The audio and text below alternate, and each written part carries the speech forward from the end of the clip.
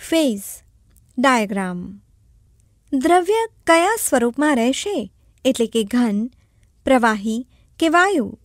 તેનો આધાર દબાણ અને તાપમાન જેવા પરિબળો પર હોય છે. કેટલીક ખાસ પરિસ્થિતિઓમાં દ્રવ્યના બે અથવા ત્રણ સ્વરૂપો એકી સાથે પણ સંતુલનમાં અસ્તિત્વ ધરાવે છે.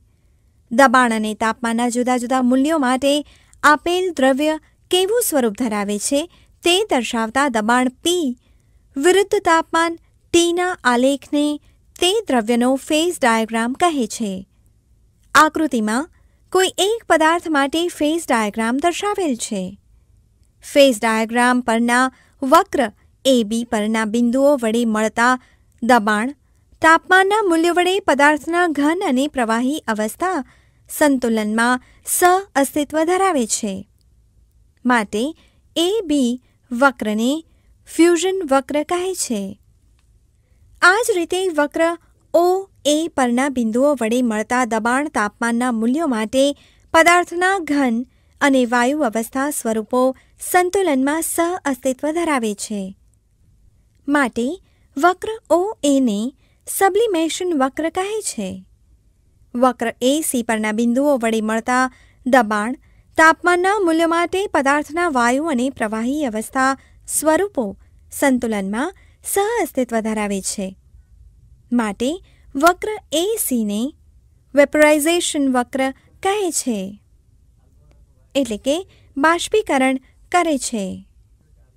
વેપરાઇઝેશન વક્ર એટલે કે ફ્યુઝન વક્ર અને સબ્લિમેશન વક્ર એ બિંદુ પર મળે છે. એટલે કે દબાણ તાપમાનના જે મૂલ્યો માટે પદાર્થના ત્રણેય સ્વરૂપે સ અસ્તિત્વમાં અને સંતુલનમાં હોય છે, તે બિંદુને તે દ્રવ્ય કે પદાર્થનું ટ્રિપલ પોઈન્ટ કહે છે. આકૃતિમાં બિંદુ એ આપેલ દ્રવ્યનું ટ્રિપલ પોઈન્ટ છે. જુદા જુદા દ્રવ્યો માટે ચોક્કસ દબાણે અને તાપમાને જ તેમના બે અથવા ત્રણ સ્વરૂપો સંતુલનમાં સહ અસ્તિત્વ ધરાવતા હોય તેવી પરિસ્થિતિ મેળવી શકાય છે. પાણીનું triple point, four point five eight millimetre પારાના દબાણે અને two seven three point one six kelvin તાપમાને મળે છે. પાણીના ટ્રિપલ પોઈન્ટનો ઉપયોગ થર્મોમીટરનો સ્કેલ નક્કી કરવામાં થાય છે. તાપમાનનું માપન. થર્મોમેટ્રી. કોઈપણ પદાર્થ ઠંડુ છે કે ગરમ, તે ચોકસાઈપૂર્વક ફક્ત સ્પર્શ કરીને નક્કી કરી શકાતું નથી. દાખલા તરીકે, ડાબા હાથને ગરમ તથા જમણા હાથને ગરમ તથા ઠંડા પાણીમાં થોડીવાર રાખ્યા બાદ બંને હાથને નવશેકા પાણીમાં રાખવામાં આવે તો નવશેકું પાણી ડાબા હાથને ઠંડુ તથા જમણા હાથને ગરમ અનુભવાય છે. આ ઉપરાંત સ્પર્શથી અનુભવેલ પરિણામ વ્યક્તિલક્ષી પણ હોઈ શકે. કોઈ વસ્તુની ઉષ્મીય સંતુલનની પરિસ્થિતિમાં તેના તાપમાનને કોઈ ચોક્કસ વાસ્તવિક સંખ્યા વડે સાંકળીએ અને આ પ્રમાણે તેની જુદી જુદી ઉષ્મીય સંતુલનની સ્થિતિઓ વખતના તાપમાનને અનન્ય એવી વાસ્તવિક સંખ્યાઓ વડે સાંકળીએ, તો આ રીતે ઉષ્મીય એટલે કે તાપીય સંતુલન પર વ્યાખ્યાયિત થતા વિધેયને તાપમાન વિધેય કહે છે. થર્મોડાયનેમિક્સનો શૂન્યક્રમનો નિયમ દર્શાવે છે કે તાપમાન વિધેય એક એક વિધેય છે. જે સાધન વડે આપેલા ઉષ્મીય સંતુલન સાથે સાંકળેલી નિશ્ચિત અનન્ય વાસ્તવિક સંખ્યા એટલે કે તાપમાન માપી શકાય તેવા સાધનને થર્મોમીટર કહે છે. સામાન્ય રીતે તાપમાન સાથે પ્રવાહીના કદમાં થતા ફેરફારના ગુણધર્મનો ઉપયોગ કરવામાં આવે છે. મોટાભાગે પ્રવાહી સહિત કાચના થર્મોમીટરમાં પારો અને આલ્કોહોલ જેવા પ્રવાહીનો ઉપયોગ કરવામાં આવે છે. થર્મોમીટરનું કેલિબ્રેશન, અંકન એવી રીતે કરવામાં આવે છે કે જેથી તાપમાનના દરેક ચોક્કસ મૂલ્ય સાથે કોઈ નિશ્ચિત અંક સાંકળી શકાય. સર્વમાન્ય માપક્રમનું કેલિબ્રેશન, અંકન કરવા માટે તાપમાનના બે ચોક્કસ એટલે કે જાણીતા મૂલ્યો જરૂરી છે. સરવાળા માટે વન વાતાવરણના દબાણે પાણીનું ઠારણ બિંદુ થર્ટી ટુ ડિગ્રી ફેરનહીટ અથવા ઝીરો ડિગ્રી સેલ્સિયસ અને પાણીનું ઉત્કલન બિંદુ two hundred and twelve degree Fahrenheit અથવા હંડ્રેડ ડિગ્રી સેલ્સિયસ ચોક્કસ મૂલ્ય તરીકે લેવામાં આવે છે.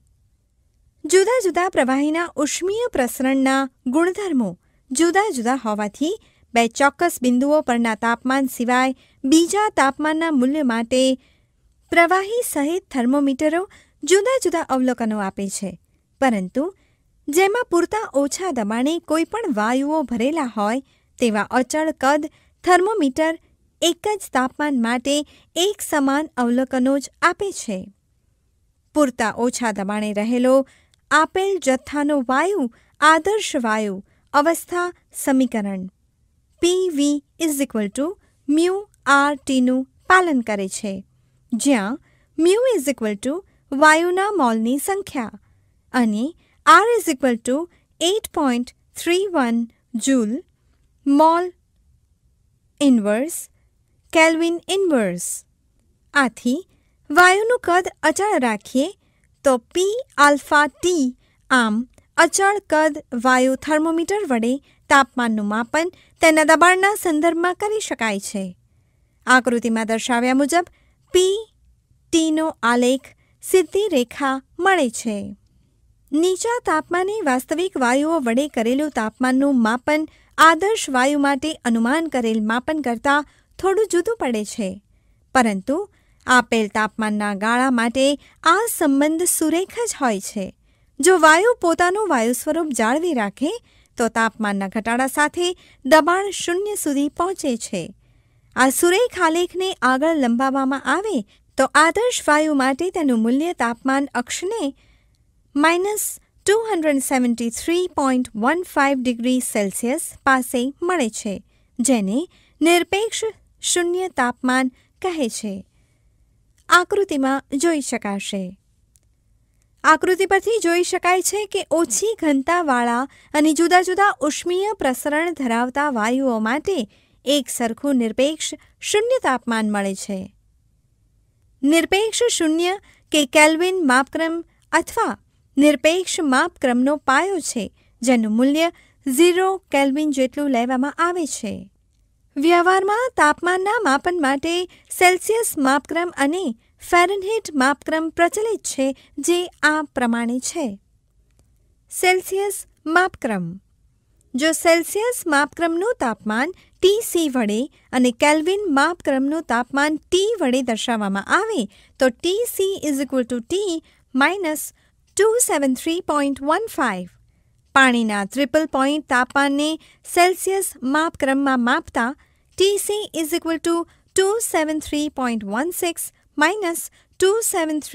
one five is equal to zero point zero one degree Celsius તાપમાન મળે છે. આ માપક્રમમાં વાતાવરણના દબાણે શુદ્ધ પાણી અને તેની બાષ્પ વચ્ચે સંતુલન રચાય ત્યારે તાપમાન હંડ્રેડ ડિગ્રી સેલ્સિયસ લેવામાં આવે છે, જેનું મૂલ્ય kelvin માપક્રમમાં T is equal to hundred plus two seven three point one five is equal to three seven three point one five K Fahrenheit માપક્રમ Fahrenheit માપક્રમ પરના તાપમાન ટી એફ અને સેલ્સિયસ માપક્રમ પરના તાપમાન ટી સી વચ્ચેનો સંબંધ આ મુજબ છે T F is equal to nine upon five T C plus thirty two degree એક માપક્રમમાં પાણીનું ઉત્કલન બિંદુ અને ઠારણ બિંદુ જાણતા હોઈએ, તો તાપમાનનું માપન કર્યા પછી તેને બીજા કોઈ માપક્રમમાં સહેલાઈથી દર્શાવી શકાય છે. આકૃતિમાં કેલ્વિન, સેલ્સિયસ અને ફેરનહીટ માપક્રમની સરખામણી દર્શાવી છે. સેલ્સિયસ અને ફેરનહીટ માપક્રમમાં તાપમાનનું માપન દર્શાવવા માટે અનુક્રમે સી અને એફ અક્ષરો લખવામાં આવે છે. દાખલા તરીકે, zero degree Celsius is equal to thirty two degree Fahrenheit એટલે કે, સેલ્સિયસ માપક્રમમાં ઝીરો ડિગ્રી એટલે ફેરનહીટ માપક્રમ મુજબ તેટલું જ તાપમાન થર્ટી ટુ ડિગ્રી. પરંતુ તાપમાનનો તફાવત આ બંને માપક્રમમાં જુદી રીતે દર્શાવવામાં આવે છે. Five Celsius degree is equal to nine Fahrenheit ડિગ્રીનો મતલબ એ કે સેલ્સિયસ માપક્રમ મુજબ પાંચ સેલ્સિયસ ડિગ્રીનો તફાવત અને નાઇન ફેરનહીટ ડિગ્રીનો તફાવત સમતુલ્ય છે. સમ